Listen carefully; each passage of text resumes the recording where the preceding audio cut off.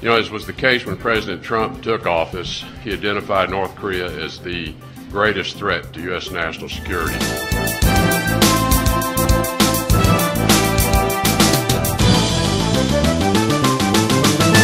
The UN Security Council is meeting to discuss North Korea's nuclear provocations. Pyongyang made the rare decision to send its ambassador to the event, most likely to protest the gathering's agenda, with a defiant speech claiming the regime is a rightful nuclear power.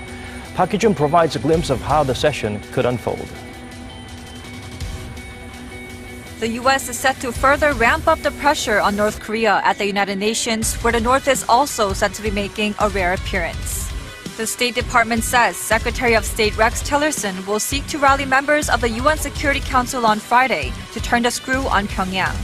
Tillerson is slated to take part in a Security Council ministerial briefing regarding North Korea's nuclear weapons program.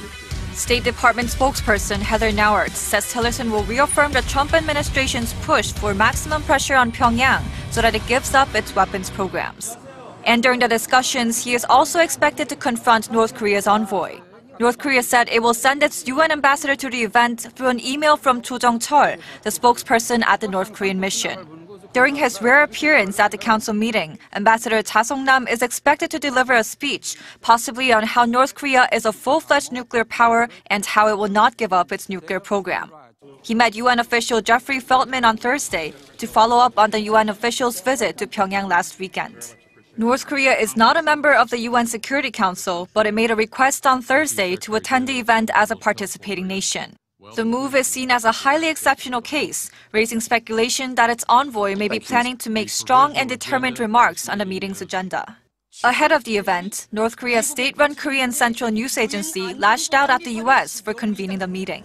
The report said the meeting is none other than a desperate measure plotted by the U.S. being terrified by the North State nuclear force.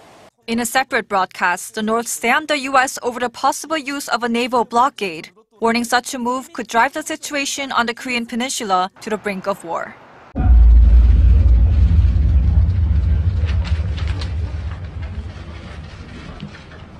Well, good afternoon, all, and do want to again thank the government of Japan for using their opportunity at the chair to convene today's session on uh, North Korea. Also appreciate Secretary uh, Guterres's comments and framing of the, the situation for us. You know, as was the case when President Trump took office, he identified North Korea as the greatest threat to U.S. national security. And regrettably, 11 months later, not much has changed. If anything, the situation perhaps has worsened. I think in, in the wake, in particular, of the most recent North Korean missile test, a very a dangerous test, one which was noted by others. Actually, you know, it was a real threat to civilization security, but again demonstrates the total disregard North Korea has, not just for the United States uh, view on this, but for the view of the entire international community. And I think that was clearly expressed by the members of the Security Council today. We simply cannot uh, continue to accept the progress of North Korea's program. We will maintain the pressure campaign, and in fact, we undertake efforts to increase the effectiveness of the pressure campaign, both through a combination of the sanctions regime, full implementation and compliance with the sanction regime, as well as unilateral actions on the part of many, many countries to send the message to North Korea through diplomatic uh, steps as well as economic steps that we do not accept the pathway you're on. We hope that this pressure campaign will cause North Korea to alter its course, re examine whether this truly is going to lead to a more secure, uh, more security for the regime, uh, and whether it is, is possible for them to even sustain an economy if they continue the path they're on. We're going to continue our diplomatic efforts. Those options remain open until other things may foreclose the diplomatic option. And with that, I'll stop there and I think we can take a couple of questions perhaps. Thank you, Secretary Tillerson. Michelle Nichols from Reuters. Uh, we have heard a lot from you this morning about North Korea. I'd like to ask you about Myanmar. As you're aware, earlier this week, two Reuters journalists were arrested and their whereabouts are unknown. What is the US government doing to pressure Myanmar for their release? And is the US considering further sanctions on Myanmar over human rights abuses? Well, our local representatives at the mission in Myanmar, at the embassy, are expressing our concerns over the detention of, of individuals, demanding their immediate release or information as to the circumstances around their disappearance. Uh, we are continuing to examine the circumstances around all of the events since the August attacks that have led to the enormous migration of people out of Myanmar uh, and have already identified one individual, and we are examining other possible individuals to hold responsible for targeted sanctions from the U.S.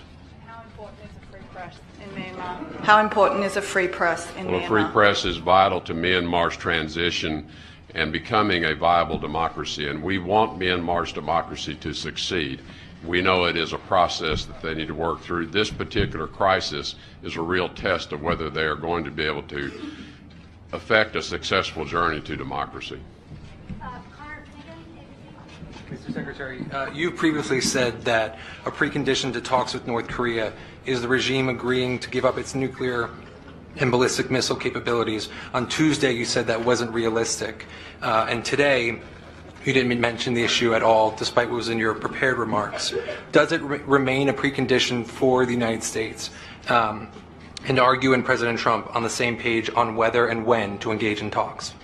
Uh, the president's policy on North Korea is quite clear, and there's no daylight at all between the president's policy and the pursuit of that policy. And the president, I think, has been very clear that we are going to lead this pressure campaign. We're going to unite the international community, and we're going to keep the pressure as, as much as we can and increase it where possible. Most recently, the president called President Xi personally and asked him to, for China to cut the oil supplies off to North Korea to increase this pressure. That is intended to lead to diplomatic talks. In the meantime, the president's been very clear militarily, we are going to be prepared should something go wrong, and our military is prepared. With respect to the talks, the precondi- we are not going to accept preconditions. You've heard others have called for freeze for freeze. We do not accept a freeze for freeze as a precondition to talks. We do not accept any relaxing of the sanctions regime as a precondition of talks. We do not accept the resumption of humanitarian assistance as a precondition of talks. So we are not going to accept preconditions for these talks. But as I indicated in my remarks, our communication, communication channels remain open. North Korea knows they're open. They know where the door is. They know where to walk through that door when they want to talk. Thank you. UN Undersecretary for Political Affairs Jeffrey Feltman told reporters in New York his talks in Pyongyang last week with senior North Korean officials found common ground on the need to prevent war over its nuclear and missile programs, but little else. North Korean interlocutors agreed it was important to, to prevent war. How we do that was the topic of 15 plus hours of discussions. The people who we met listened carefully to our arguments. They explored our thinking. They asked questions. They, they argued with us. But ultimately, they have to take what we said and talk about it internally, talk about it with their leadership. So I, that's why I'm reluctant to say now what is the impact of our visit, because they need time to digest and consider how they will respond to our message. Feltman said he believes the door to a diplomatic solution has been left ajar and hopes the door to a diplomatic solution will be opened wide. He told them the international community is committed to a peaceful solution, but united in opposition to North. Tillerson said the United States will not tolerate a nuclear armed North Korea, but he said such talks could be held after a period of quiet without nuclear or missile testing. It is unclear whether President Donald Trump, who has said talking with North Korea would be a waste of time, gave his approval to the speech to the Atlantic Council think tank. But Korea Society Senior Director of Policy Stephen Noerper tells VOA's Victor Beattie such a position is long overdue and a step forward in easing tensions. For the United States to basically be in the position of saying that it's willing to come to the table and talk without those preconditions on North Korea means that negotiations much more likely. The prior situation less so if it meant that they had to give that up as part of the precondition to come to the table.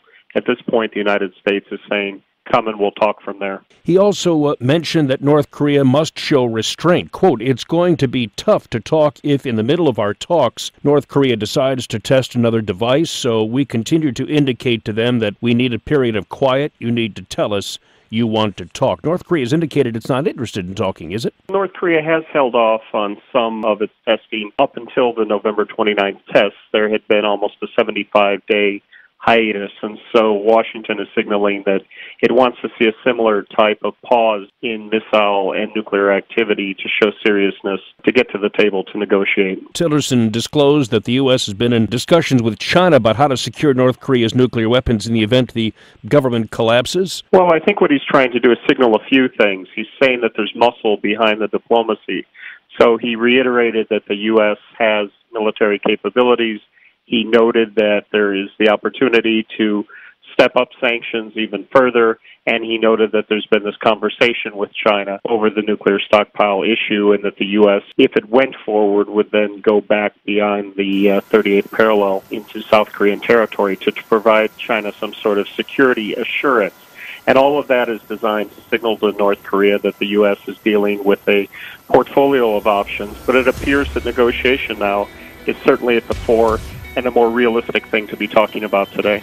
With regard to a dialogue without precondition, do you think President Trump backs that view? I wouldn't be the person to answer that. Secretary Tillerson and President Trump are the only two people who know that answer, but one would assume with such a public address that Secretary Tillerson was going out and making an advance for negotiation, and one would assume that's coordinated with the White House.